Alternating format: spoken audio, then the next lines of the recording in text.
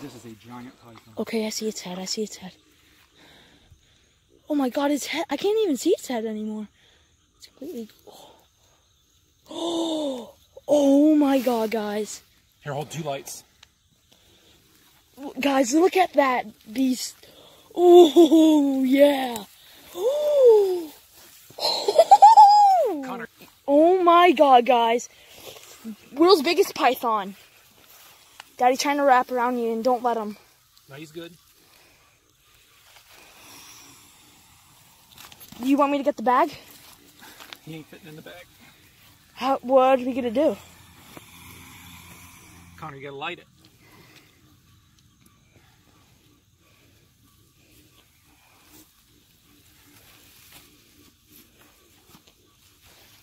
Oh yeah. Oh! That's a nice mouth. I'm just trying to wear them out.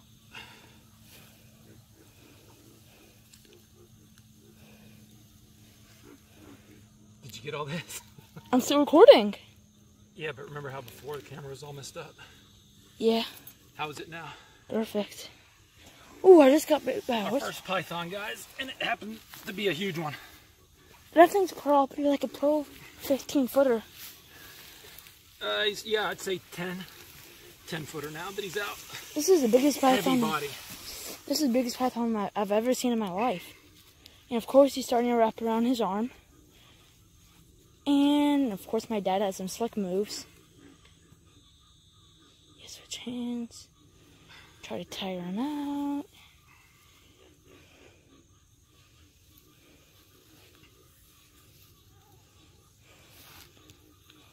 What now? Walk back. Walk back where? Back to the car. Okay. And just got my shoes soaked. By running through here. You can kill the video.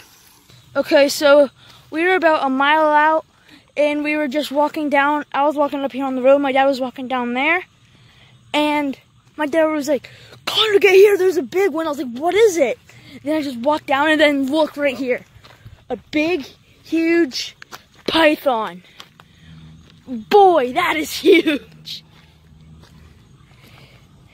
And man, this is this is a really good trip so far. So we were actually after the python because they're an invasive species to Florida, and they've been killing like everything. They've been killing all, all of our gators.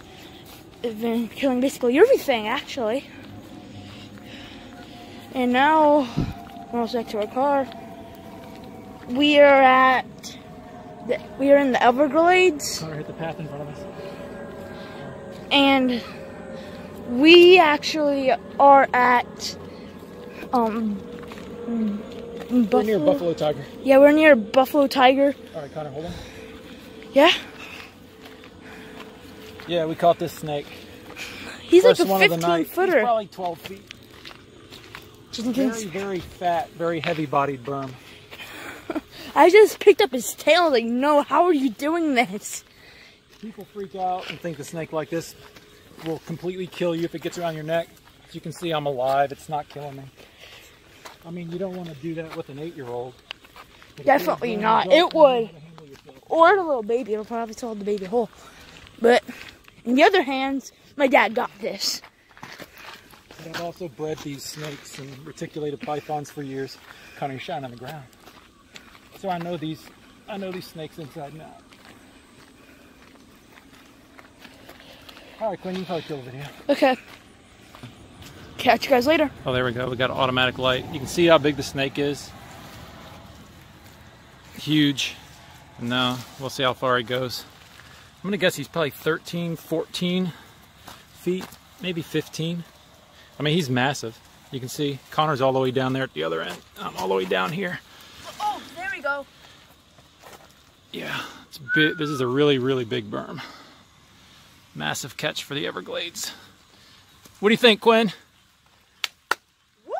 Not bad. And it's not the snake to blame. A lot of people come out here hating on these guys. They didn't release themselves. people did.